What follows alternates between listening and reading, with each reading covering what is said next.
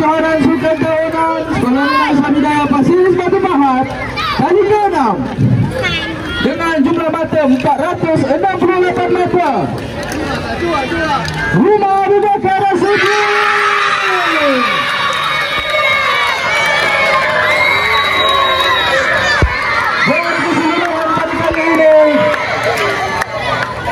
Strategi yang direka untuk mengumpul mata berjaya membuahkan hasil.